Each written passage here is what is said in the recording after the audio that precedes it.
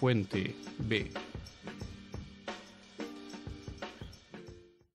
Vamos a recordar un poco el invitado que tenemos el día de hoy, que es Carlos Aguirre Núñez, ¿cierto? el director de la Escuela de Construcción Civil de Universidad de las Américas.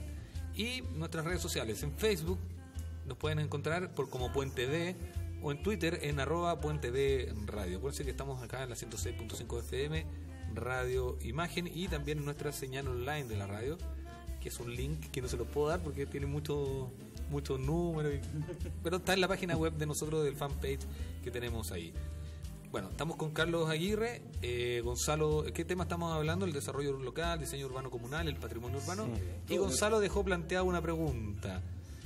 La pregunta eterna que le vamos a dejar. ¿Cuál era la pregunta eterna? Voy a ser un poquito más sintético. hazme la pregunta eterna de nuevo, por favor. No, eh, básicamente, lo, ¿cuáles son los lineamientos del desarrollo local en cuanto al, a los principios de, ya sea de escala humana o, eh, o económico, de mercado, cuáles son los principios que debe seguir el desarrollo local y el desarrollo urbano. Eso. Claro.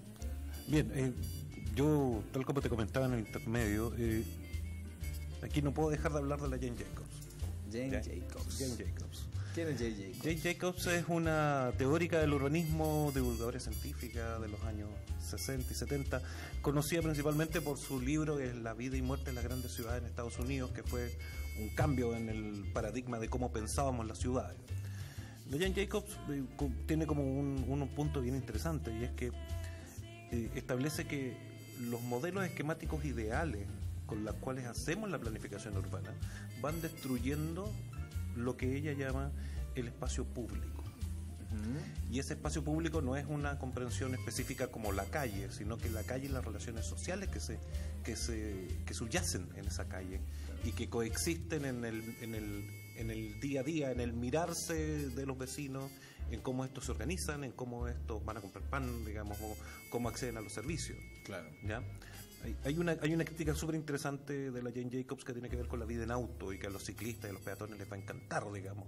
Decir, claro, eh, eh la, ciudad a escala humana implica que tú puedes ir a comprar, hacer tu comercio de conveniencia, comprar pan, comprar cigarrillos, comprar eh, dulces para los niños, no sé. Lo haces a una escala caminable. Claro.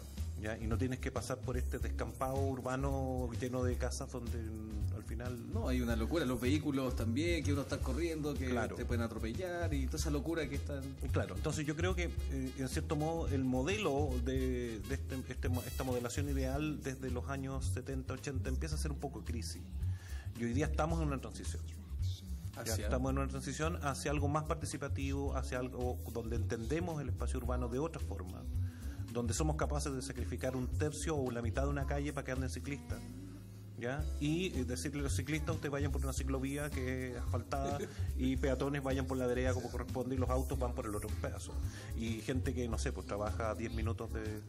O sea, que se mueve 10 minutos en, en automóvil, decirle, oye, camina, hombre, o, o, una...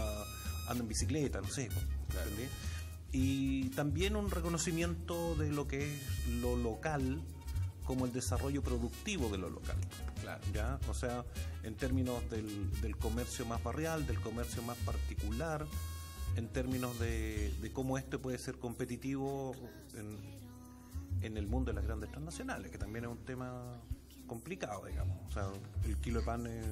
Ah, hablamos del pan la semana pasada. Claro, cómo, cómo hacer el kilo de, cómo hacer que este kilo de pan sea competitivo con el kilo de pan de los transnacionales, digamos.